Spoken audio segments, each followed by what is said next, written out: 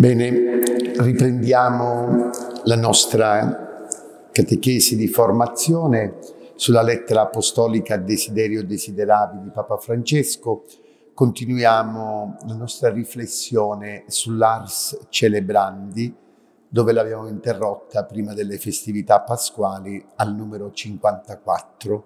È quella penultima, il penultimo incontro. Questo concluderemo il 2 maggio proprio con la conclusione della lettera.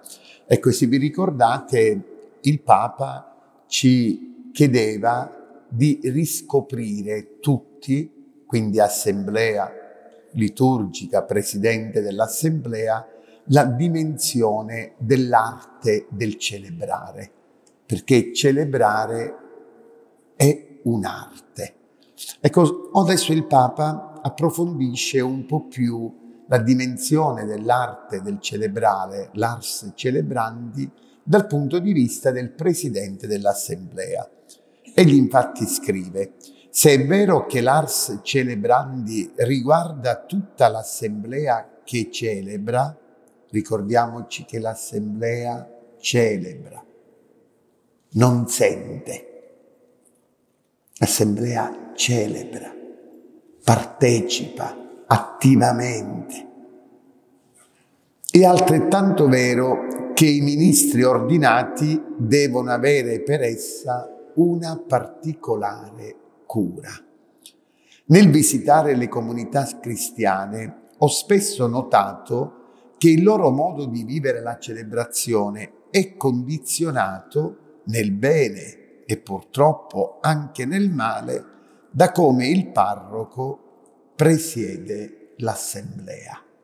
Cioè è condizionato molto dal presidente dell'assemblea liturgica, che ha il grave compito di presiedere a nome di tutta l'assemblea, ma anche di guidare quell'assemblea, inevitabilmente. Potremmo dire che vi sono diversità e diversi modelli di presidenza. E questo, vedete, il Papa lo mette tra virgolette, proprio per indicare che questo non dovrebbe accadere, perché il presidente dell'assemblea liturgica sa come deve presiedere, glielo dicono le rubriche, le indicazioni, la formazione. Se ci sono diversi modelli è perché molte volte entra la dimensione soggettiva. E ora vedete, nella liturgia la dimensione soggettiva non può esistere, perché è preghiera di Chiesa. È la Chiesa che ne detta le regole. Ecco un possibile elenco di atteggiamenti che, pur essendo tra loro opposti, caratterizzano la presidenza in modo certamente inadeguato. E il Papa dice rigidità austera o creatività esasperata, nell'uno nell'altro. Misticismo spiritualizzante o funzionalismo pratico, cioè o l'esagerata spiritualità della celebrazione o la funzionalità pratica, sbrigatività frettolosa o lentezza enfatizzata, sciatta trascuratezza o eccessiva ricercatezza, sovrabbondante affabilità o impassibilità ieratica. Purtroppo, vedete, gli uomini siamo fatti così. Noi amiamo sempre gli ismi. E nella liturgia gli ismi entrano e diventiamo estremisti nel bene e nel male. Pur nell'ampiezza di questa gamma, penso che l'inadeguatezza di questi modelli abbia una comune radice. un esasperato personalismo dello stile celebrativo che a volte esprime una malcelata mania di protagonismo. E questo, vedete, è forte, è forte. Un esasperato personalismo e protagonismo, siccome io presiedo, io faccio quello che voglio. No, io devo fare quello che la Chiesa mi dice di fare. E devo far sì che l'assemblea si trovi in essa coinvolta. Io potrei pur celebrare, secondo il rito di San Paolo VI, la messa in latino, perché a me piace, perché ne, ne comprendo il significato. Ma sarebbe opportuno nei confronti della mia assemblea liturgica? Non credo. Non credo. Devo fare una differenziazione di presidenza liturgica, perché una cosa è presiedere l'Eucarestia con una comunità di adulti, una cosa è presiedere l'Eucarestia con una comunità prevalentemente di bambini. Come renderli partecipi? Eh, il Presidente dell'Assemblea deve avere questa consapevolezza di chi ha davanti. Qualcuno dice, ma come fate a celebrare quattro messe domenicali, compresa quella del sabato sera, ripetendo sempre la stessa omelia? Ecco, io vi posso assicurare che presiedo quattro messe, ma non faccio mai la stessa omelia. Ma non la faccio perché cambia l'uditorio, cambia l'assemblea. E quindi devo entrare nella dimensione di, ma non per esagerato protagonismo o personalismo, ma per senso pastorale. Spesso ciò acquista maggiore evidenza quando le nostre celebrazioni vengono trasmesse in rete, cosa non sempre opportuna e sulla quale dovremmo riflettere.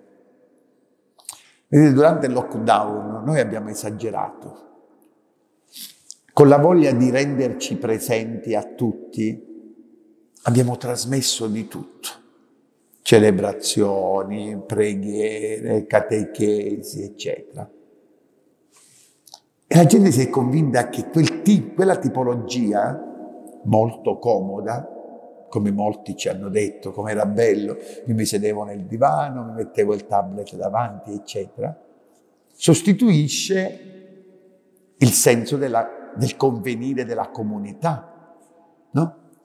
Ma a maggior ragione abbiamo potuto notare diversi atteggiamenti, stili celebrativi, ridicolaggini, che poi Oggi a finire sui social non ci vuole niente, no?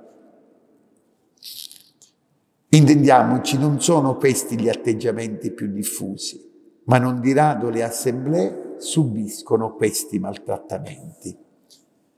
Molto si potrebbe dire sull'importanza e sulla delicatezza del presiedere. In più occasioni mi sono soffermato sul compito impegnativo di tenere l'omelia. Il Papa dedica dieci numeri dell'Evangeli Gaudium sull'omelia, dando precise indicazioni su come deve essere un'omelia.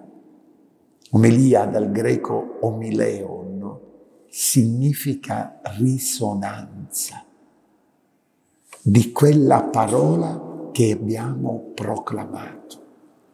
E perché quella parola risuoni, occorre che la risonanza sia ben preparata. Nessuno può improvvisare un'omelia. Secondariamente che sia breve.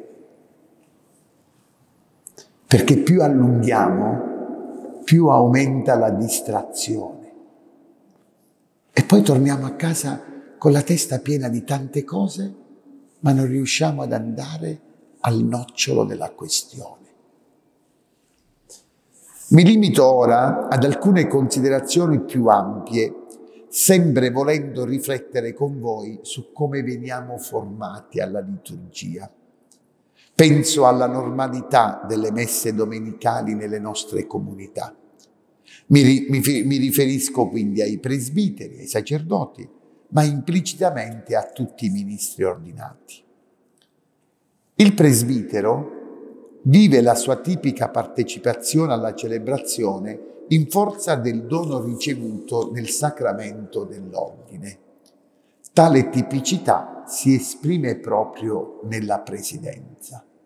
Quando siamo stati ordinati sacerdoti, quando il vescovo ci ha consegnato la, il calice con la patena, ci ha detto ricevi le offerte del popolo santo di Dio per il sacrificio eucaristico. Renditi conto di ciò che farai. Imita ciò che celebrerai, conforma la tua vita a Cristo Signore.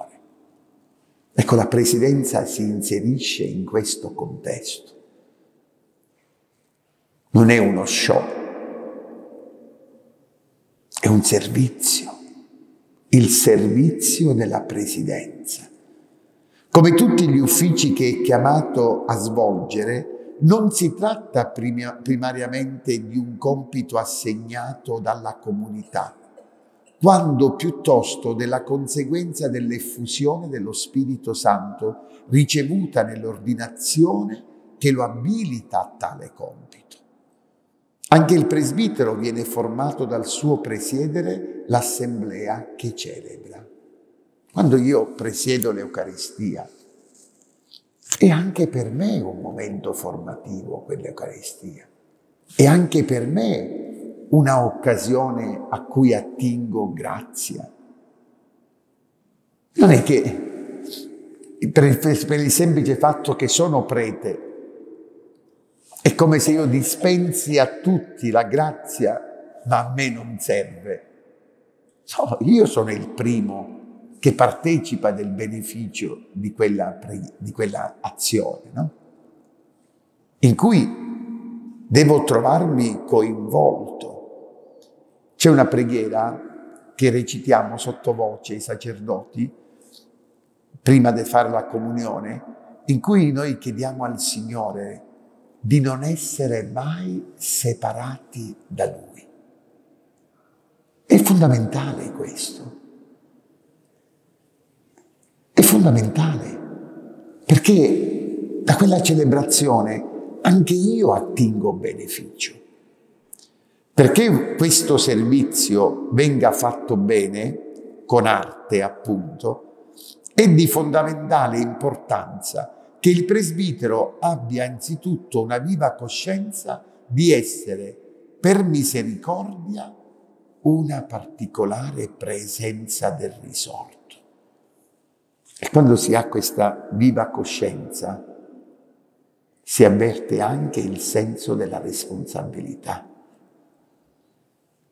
L'altare non è un teatrino.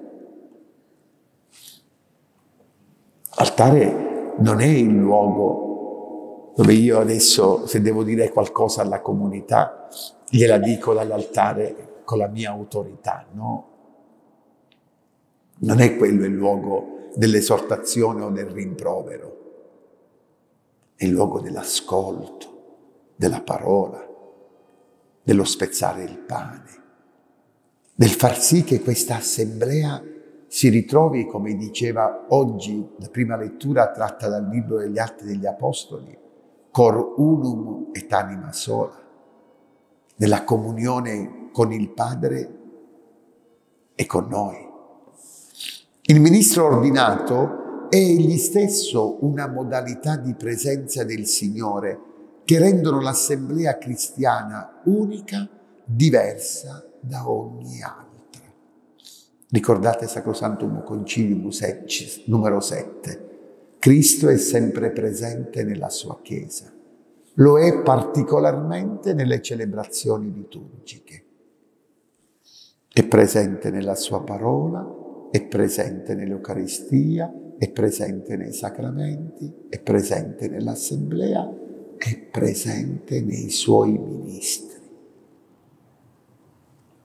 Quindi il Presidente dell'Assemblea in sé è presenza di Cristo risorto. Questo fatto dà spessore sacramentale in senso ampio a tutti i gesti e le parole di chi presiede. L'Assemblea ha diritto di poter sentire in quei gesti e in quelle parole il desiderio che il Signore ha, oggi come nell'ultima cena, di continuare a mangiare la Pasqua con noi. Ecco perché dovremmo già entrare nell'ottica che celebrare, partecipare, non è una questione di abitudine, è un'esigenza. La mia generazione è stata formata, grazie ai nostri superiori del tempo, su questi pilastri fondamentali. Parola, Eucaristia, comunità, comunione. E tutto ruotava attorno a questo a questa presenza viva del Signore risorto, nell'Eucaristia celebrata al mattino e nell'adorazione al pomeriggio, nella preghiera liturgica della Chiesa, nella preghiera fatta di parola di Dio. Io lo capisco che è molto più semplice insegnare a pregare dicendo che per la tua gloriosa passione abbi misericordia di noi e del mondo intero. È molto più complicato pregare con un brano della scrittura, con i salmi, ma è lì la qualità della preghiera a cui dobbiamo tendere. Il risorto è dunque il protagonista. Non lo sono di sicuro le nostre immaturità, che cercano, assumendo un ruolo e un atteggiamento, una presentabilità che non possono avere. Grazie al web, in questa settimana santa, abbiamo visto di tutto e di più. Ho visto certe ritualità in cui non sapevo se ridere o piangere. E tra me e me consideravo e questo è il servizio che noi rendiamo, perché a me piace. E io chi sono? E perché a me piace un'intera assemblea deve conformarsi a me. E questo è il senso di ecclesialità, di ecclesiologia che noi abbiamo, di comunità, di rispetto degli altri. No, assolutamente. Il presbitero stesso è sopraffatto da questo desiderio di comunione che il Signore ha verso ciascuno. È come se fosse posto in mezzo tra il cuore ardente d'amore di Gesù e il cuore di ogni fedele, l'oggetto del suo amore. Presiedere l'Eucaristia è stare immersi nella fornace dell'amore di Dio quando ci viene dato di comprendere o anche solo di intuire questa realtà, non abbiamo di certo più bisogno di un direttorio che ci imponga un comportamento adeguato. Le regole vengono dettate perché non sempre abbiamo veramente compreso che noi siamo manifestazioni di Gesù il risorto e sull'altare mi diverto. Se di questo abbiamo bisogno, cioè delle regole, è per la durezza del nostro cuore. La norma più alta e quindi più impegnativa è la realtà stessa della celebrazione eucaristica che seleziona parole, gesti, sentimenti facendoci comprendere se sono o meno adeguati al compito che devono svolgere. È evidente che anche questo non si improvvisa, è un'arte, chiede al presbitero applicazione, vale a dire una frequentazione assidua del fuoco di amore che il Signore è venuto a portare sulla terra. Questione di formazione. E noi dobbiamo formarci a questo. Ma a formarci ad una liturgia vera, autentica, essenziale, sobria, nobile per semplicità, non ad una liturgia fatta di pomposità, fatta di una grande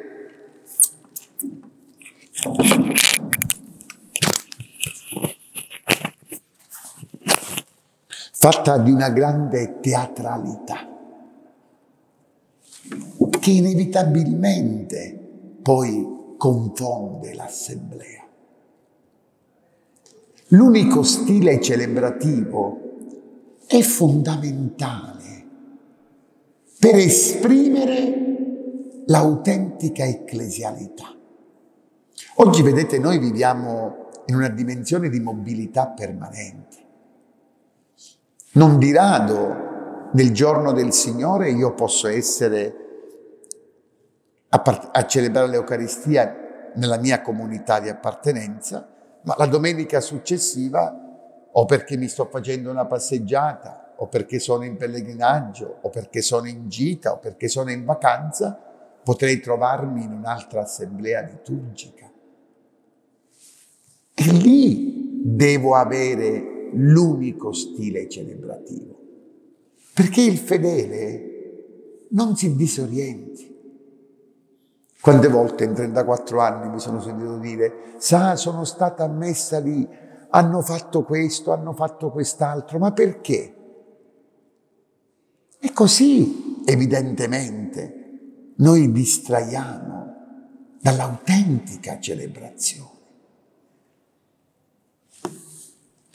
Quando la prima comunità spezza il pane in obbedienza al comando del Signore, lo fa sotto lo sguardo di Maria che accompagna i primi passi della Chiesa.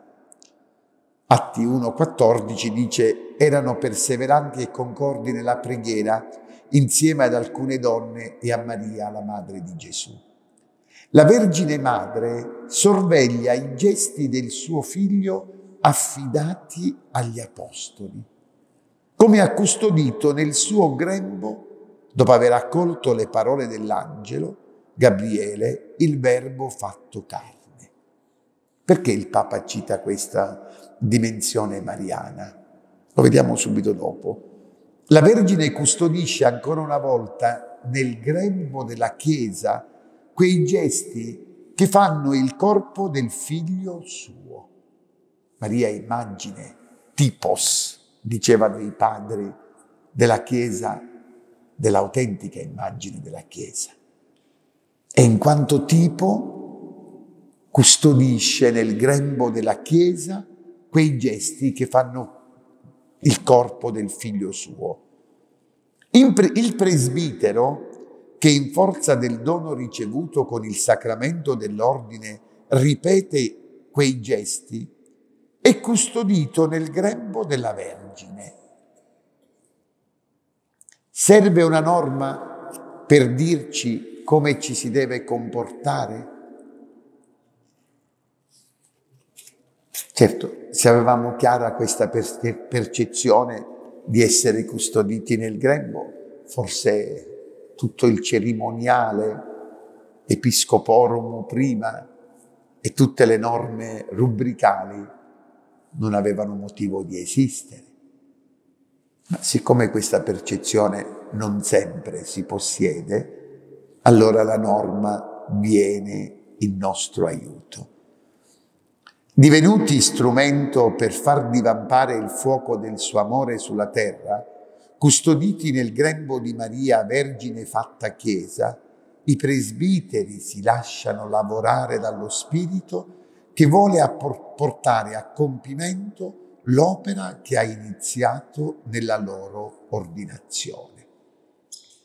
Il rito dell'ordinazione sacerdotale si conclude Dio porti a compimento l'opera che ha iniziato in te. E se l'ordinazione, mediante l'imposizione delle mani e il dono dello Spirito, ci fa presbiteri, non significa che siamo arrivati, siamo sempre in cammino. Io lo dico sempre agli sposi nelle celebrazioni, non cadete nel banale errore che per il fatto di essere arrivati davanti all'altare sapete tutto sull'amore. Dovete imparare a crescere giorno per giorno in questa logica. Proprio stasera ho celebrato un sessantesimo anniversario di matrimonio, numeri impensabili oggi, no? E dicevo, dove sta il segreto? Il segreto sta proprio in quel corunum et anima sola di cui parlava la prima lettura, in questa intimità dell'amore. Ora perché Dio porti a compimento l'opera che ha iniziato in noi, l'azione dello Spirito offre a loro, ai, pre- ai presbiteri, la possibilità di esercitare la presidenza dell'assemblea eucaristica con il timore di Pietro, consapevole del suo essere peccatore. Vi ricordate cosa dice Pietro a Gesù? Allontanati da me che sono un peccatore.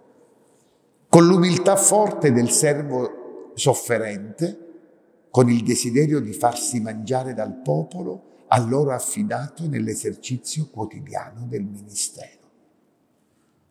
È la celebrazione stessa che educa a questa qualità di presidenza. Non è, lo ripetiamo, una adesione mentale, anche se tutta la nostra mente, come pure la nostra sensibilità, viene in, ossa, in essa coinvolta. Il presbitero è dunque formato alla presidenza dalle parole e dai gesti che la liturgia mette sulle sue labbra e nelle sue mani. Quello dobbiamo fare. Il nostro primo libro di preghiera è il Messale, ma lo dovrebbe essere per tutti. Ascoltate attentamente le bellissime collette del tempo pasquale che ci invitano a riconsiderare tutti i benefici della Pasqua, a vivere questa vita nuova. Ogni volta che ripetiamo la formula della consacrazione, per voi e per tutti, devo sentirmi coinvolto in questo dono. Se ho rinunciato ad una famiglia mia personale, ad uno stato comune per abbracciarne uno diverso. L'ho fatto in quest'ottica eucaristica, dato per voi e per tutti, come dono. È vero che sono peccatore, ma è dato anche per me, per la remissione dei peccati. Dobbiamo sentirci coinvolti in tutto questo. Non siede su di un trono, perché il Signore regna con umiltà di chi serve. Non ruba la centralità dell'altare. Segno di Cristo dal cui fianco squarciato scaturirono l'acqua e il sangue, fonte dei sacramenti della Chiesa, e centro della nostra lode e del comune rendimento di grazie. Noi dovremmo fare qualche volta una catechesi sugli spazi liturgici celebrativi, che non sempre forse riusciamo a comprendere. Noi pensiamo che entrando in chiesa il posto più importante sia il tabernacolo, vero? Non è vero. Lo spazio più importante è l'altare, perché è il centro della nostra lode e del comune rendimento di grazie. Ecco perché è posto al centro, ecco perché tutto deve convergere verso lì. E io non devo rubare la centralità all'altare. Su quel trono io sono segno di Cristo che presiede. Non sono seduto come il reuccio della comunità. Accostandosi all'altare per l'offerta, il presbitero è educato all'umiltà e al pentimento delle parole. Quando, dopo aver offerto il pane e il vino, prima del lavabo, io dico umili e pentiti, accoglici, o oh Signore. Ti sia gradito il nostro sacrificio che oggi si compie dinanzi a te. Non può presumere di se stesso per il ministero affidato perché la liturgia lo invita a chiedere di essere purificato nel segno dell'acqua. Lavami, Signore, dalla mia colpa, dal mio peccato rendimi puro. Ripetiamo ogni volta che facciamo il lavabo. Le parole che la liturgia mette sulle sue labbra hanno contenuti diversi che chiedono specifiche tonalità. Per l'importanza di queste parole al presbitero è chiesta una vera ars dicendi, anche il modo come proclamare una colletta, una superoblata, una post comunio, il prefazio. Esse danno forma ai suoi sentimenti interiori, ora nella supplica al Padre a nome dell'Assemblea, ora nelle, nell'esortazione rivolta all'Assemblea, ora nell'acclamazione ad una sola voce con tutta l'Assemblea. Con la preghiera eucaristica nella quale anche tutti i battezzati partecipano, ascoltando con riverenza e silenzio e intervenendo con le acclamazioni, chi presiede ha la forza a nome di tutto il popolo santo di ricordare al Padre l'offerta del figlio suo nell'ultima cena perché quel dono immenso si renda nuovamente presente sull'altare. A quell'offerta partecipa con l'offerta di se stesso. Il presbitero non può narrare al Padre l'ultima cena senza esserne partecipe. Anche io sono stato invitato a quell'ultima cena. Anche io sono stato invitato. Non può dire prendete e mangiatene tutti, questo è il mio corpo offerto in sacrificio per voi e non vivere lo stesso desiderio di offrire il proprio corpo, la propria vita per il popolo a lui affidato. Questo i santi l'hanno capito facilmente. Quando l'uccisore si presenta davanti a Don Pino Puglisi, Don Pino cosa fa? Sorride e gli dice me l'aspettavo. E perché l'aveva capito che quel corpo dato per voi e per tutti doveva essere dato al, al popolo santo di Dio. E ciò avviene nell'esercizio del suo ministero, diremmo anche nella forma più alta del ministero, che è quello della presidenza liturgica. Ecco, il Papa conclude, di tutto questo e da molto altro, il presbitero viene continuamente formato nell'azione celebrativa.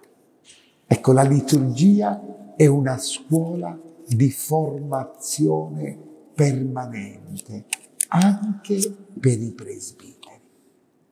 È difficile, lo so, ve lo dice uno che da 20 anni dirige l'ufficio liturgico diocesano e tante volte sono stato costretto a manifestare dissenso uh, su taluni atteggiamenti celebrativi, eccetera, come se noi fossimo i sapientoni e il popolo di Dio, come li chiamavano nel Medioevo, gli idiotes che non sanno nulla di quello che facciamo. No, se invece ci formiamo insieme all'unico stile celebrativo e all'autenticità della celebrazione, ogni liturgia sarà una scuola di formazione per tutti e soprattutto sarà un'esperienza vera, autentica di Gesù il risorto in mezzo a noi, che ha il desiderio di mangiare la Pasqua con noi per renderci poi testimoni di questa Pasqua. Tutti, ministri ordinati e popolo santo di Dio, senza distinzione di sorte.